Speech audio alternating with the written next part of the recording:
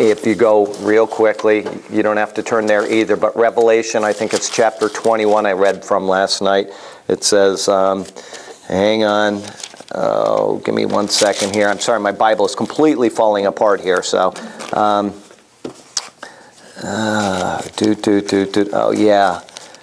Uh, got it right here in front of me. It says, and the, this Revelation 22, and the Spirit and the bride say, Come, and let him who hears come, and let him who thirsts come. Whoever desires, let him take of the water of life freely. All right, so there you go. That's, that's just a real, uh, uh, we spent, what, an hour, hour and 15 minutes talking about this particular festival last night, but those are a couple key verses, but it all goes back to booths or tabernacles and how they point to Jesus Christ. Anyway, not the same location, but just wanted to bring that up because it mentions Sukkot. Okay, verse 21, please. And the Lord went before them by day in a pillar of cloud to lead the way, and by night in a pillar of fire to give them light, so as to go by day and night. Then he did not take away the pillar or cloud of cloud by day or the pillar of night from before the people. Okay, so you have the pillar of cloud, it leads the way, and you're going to see that when later, when the cloud moves, the people pack up their camp and they move. And then when the cloud stops, that's where they camp. And this went on for 38 years of wandering in the wilderness after receiving the law of Mount Sinai. But at this point, the pillar is showing them where to go. He is leading them. And remember, do you remember last week what we talked about? They went through the wilderness of Sinai instead of directly into Egypt. Why was that? We talked about that last week. Why did he not take them directly from Egypt up to Israel? Well, but he, he war. He said that if they see war, they will be fearful and they'll want to return back to Egypt. Let me see if I can find that real quickly. Very good. Um, anyway, he led them specifically into the wilderness rather than taking the shorter distance. If you, and I don't know, maybe I didn't show you because we had all that writing all over the thing last week, but, and maybe I did. If I showed you this already, I apologize. But here's Israel. Here's the Red Sea down here. Here's the wilderness of Sinai. Here's Egypt over here. And I know I'm blowing this a little bit, but uh, anyway, this is where the Nile goes out into the Mediterranean.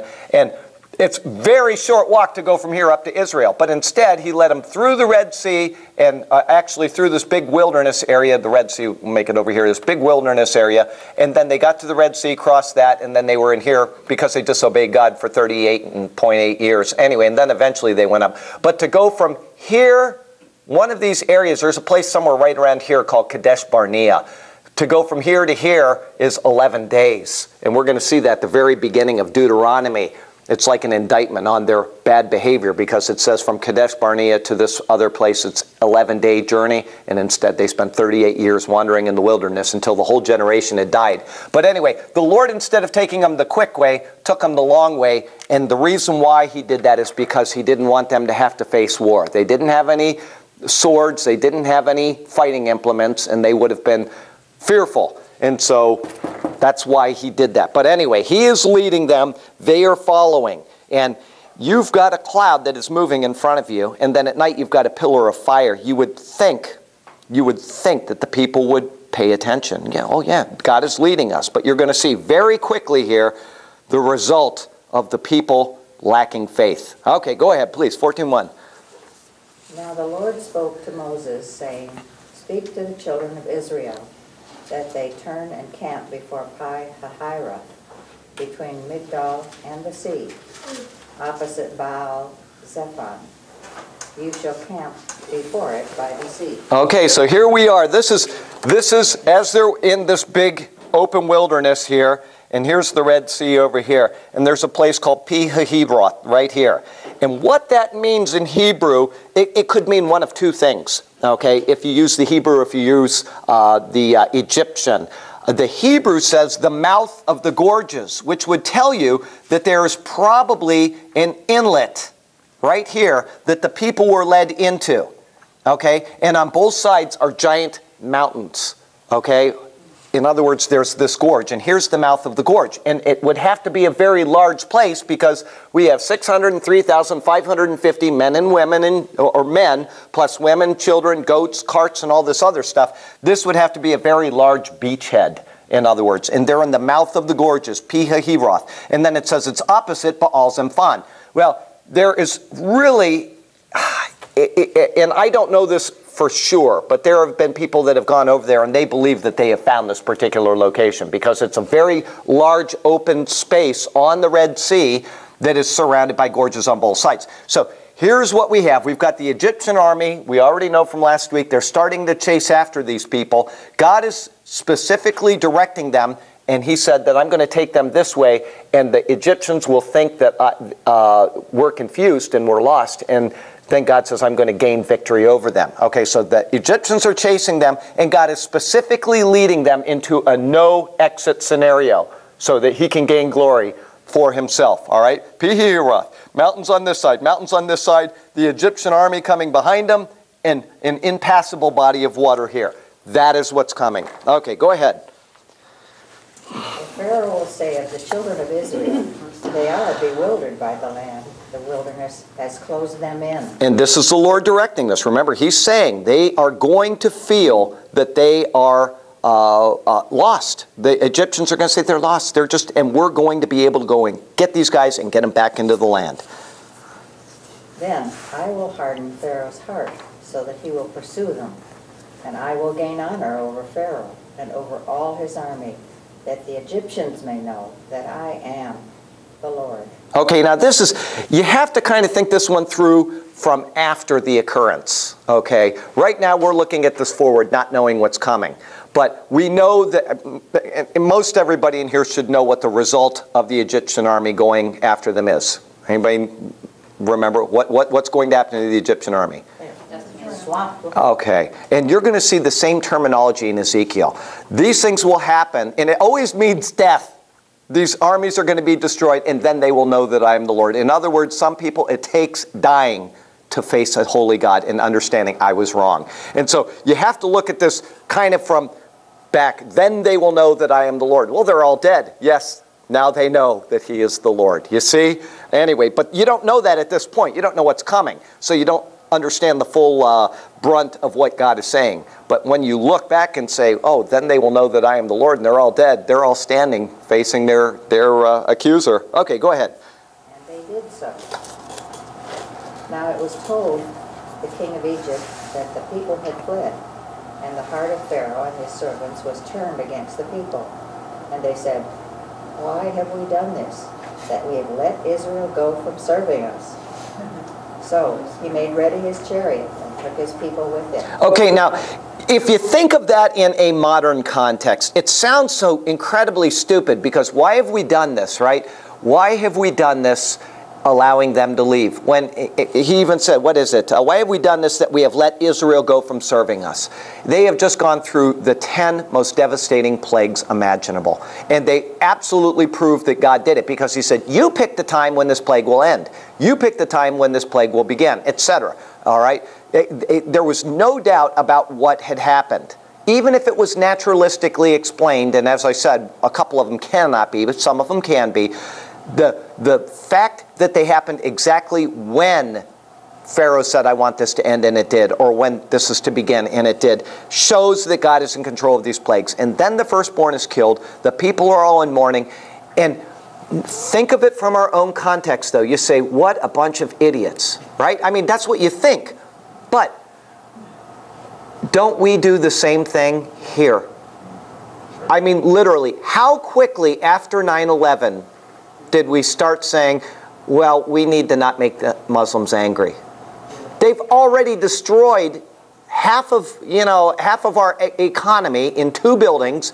They've tried to destroy the White House. They've also attacked the Pentagon, right? And within six months, Nobody would, don't say anything bad about the Muslims. They're our friends. And so you look at this and you say, what a bunch of idiots. But when you look at us in our own history, the Japanese. Now, admittedly, after the war, we went in, we occupied Japan, and eventually they became our allies. But it, people tend to forget within no time at all how quickly or how, how, you know what I'm trying to say. People forget the devastation very quickly, and they just turn away from it. And that just that's the nature of man. Yes. And on the other side, I think that same thing about the Middle East that surrounds Israel, time and time again, they've attacked and been annihilated. Perfect example. Be able to do that, Perfect example. and yet they do not get it through their thick heads. Maybe God. Maybe God, yeah, you know, some of you weren't in here when I brought this up before, but when Israel was established as a nation on 14 May of 1948, they turned on the radio and uh, Ben Gurion said, The nation of Israel is reestablished. Okay, whatever. And uh, so here they are, they're reestablished as a nation immediately. That day, every Muslim nation on earth declared war on them, all of them. And they were outnumbered like, you know, hundreds to one, hundreds to one. And there were no weapons available because the weapons were under the British mandate. They controlled the land at the time, okay? They were attacked, and the, the few weapons that the Jewish people had, they, uh, you know, it- they'd gotten some, but I mean, there wasn't an infrastructure of weapons. There was one operating factory at the time in Israel. Do you remember what it was? There was one operating factory that they, they it was a lipstick factory. Remember this? I brought this up, maybe it was in the other class.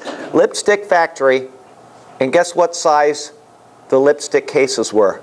They fit the rifles that the, the, all, the, all the bullets, in other words, they just happened to have something that could be modified to make bullets for the guns. Yeah, uh, yeah, you know. Anyway, so that's one of the, the, the coincidences, and there are these other things that just happened during the reestablishment of Israel. These nations attacked, and it was absolutely, without a doubt, impossible that Israel could have survived that month, and yet they did. And then what happens less than 20 years later? They're attacked again. Actually, they're not attacked. I, I don't want to mislead you on this. The Six Day War, Israel preemptively struck because they knew they were going to be attacked. The evidence was there. They had all of the intelligence. They had everything lined up against the Israel, and they said, We have no choice. We have to go out and we have to do this. So they did a strike on Egypt from the north and from the side with their airplanes, and within, what was it, two minutes or something, they had destroyed the Egyptians' ability to wage war All over the desert. all over. It was just, the- you know, it, it, once again, an impossible scenario was delivered. And then on Yom Kippur in 1973, they are attacked from the north through, from Syria through the Golan Heights, from Egypt through the, the uh, Sinai Peninsula. There's no possibility that Israel can survive this attack and they survived. In one of these three wars, I don't remember which one, they were so limited in the armament they had, I think it was 1948 war, what they did is they took drums and they put rocks in them and they rolled them to make it sound like tanks, and people would go in the opposite direction when they'd hear these things. I mean, these Jewish people are not dummies. And I have stood right there at the north of Israel, right there, where a line of tanks was coming down uh, from, uh, they were French made tanks, and they're really small by today's standards, but there was a line of French tanks was coming down from the north, and the Jewish people won against the tanks with Nothing. All they had was Molotov cocktails. They, they didn't have any war capability in this particular area, and they stopped an entire line of tanks with their bare hands and with Molotov cocktails. And one of those tanks, the first one in the column, is sitting there to this day. I've got a picture of me with it right there to show that they had actually defeated this tank just by digging some trenches, laying down, and at the right moment getting there. And eh, unbelievable, absolutely astonishing what God has done to protect His people against their enemies. And you're right, that's a perfect example. Here we think people are so stupid, and and the reason why I'm bringing all of this up, and it's kind of fun talking anyway, but is that we look at him as an idiot. Why would he chase after the Israelites? Well, you know what? It's just the nature of man. We do it all the time. We have the evidence. People are denying the Holocaust right now. And why did Eisenhower go in and, t- yes? The F word that you were referring to about forgetting, Oh, yeah. why couldn't the F word be forgiven? That's true. You know, I mean, if people are willing, if they are willing to be forgiven, God leaves that up to everybody individually and collectively as nations. And I don't, I don't in any way dispute that. But you know, as I said, here God has given us His word. Here He said, "This is this is what I am proclaiming to be my word." And then somebody else writes a book, whether it's Satan or whether it's a human being. He says, No, this is my word, and this is my word. And that's why it is very important never to argue from the Bible about the Bible.